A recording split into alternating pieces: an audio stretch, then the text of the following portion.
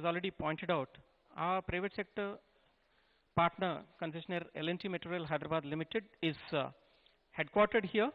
In fact, the journey is awesome.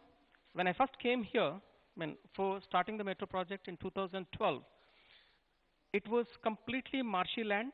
Knee-deep water used to be there at Uppal. The land was 8,000 rupees per square yard.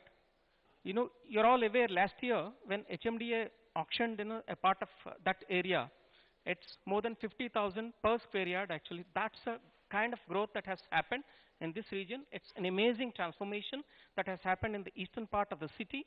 In fact, I feel jealous living in the western part of the city. When we come here, the air is much cleaner.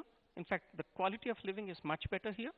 And our Honorable Chief Minister has a definite agenda for the holistic development of the whole city, not only on the western part of the city, while we are giving going in Metro Phase 2, we're going to give connectivity to the airport, not only from the western part of the city, Honorable Chief Minister gave us a directive saying that uh, you have to bridge the link between Nagol and uh, LB Nagar, that's about 5 kilometers. In Phase 2, we are covering that 5 kilometer bridge, uh, bridging. And from there, uh, different parts, to the airport from the eastern part of the city also, we are going to, that is from LB Nagar, that is um, Uppal, Nagol Uppal, then LB Nagar, and from LB Nagar to the airport in phase two, we'll be connecting from this part of the city also. And there are other plans from LB Nagar up to say Hayat Nagar.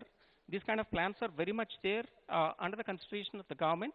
Not only metro, there are going to be different other kinds of uh, transportation systems, modern transportation systems. Our Honorable Minister is the one who is propagating while strengthening the public transportation system. At the same time, you also have to have grade separators and number of other things to ease the traffic and to make it faster uh, uh, to reach the places, etc.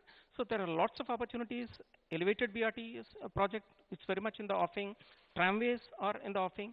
So under the guidance of Honorable Chief Minister and our Municipal Minister, we are going to cover this eastern part of the city also with equal emphasis. So with these few words, I don't want to take much of your time. Definitely, eastern part of the city will see a massive growth, and I would all urge you to come forward and invest in the eastern part of the city. We have different metro stations here already, and from the metro stations already we have given last mile connectivity. If any of you are interested, we will be running feeder buses and feeder uh, other vehicles actually from our metro stations this part of the city and as well as other parts of the city.